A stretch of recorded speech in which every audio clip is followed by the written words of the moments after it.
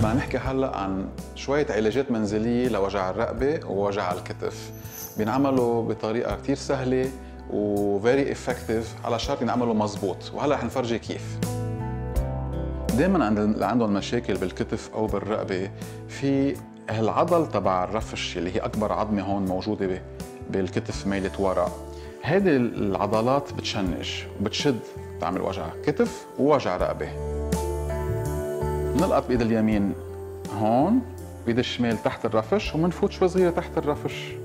وبنعمل هالحركة الدائرية أو sliding movement تنرخي هالعضلات كلها. بنعملها بس 15 times and that's it. فينا نعمل هذا الشيء ثلاث مرات بالجمعة للمشاكل المزمنة وبياخذ نتيجة كثير منيح المريض.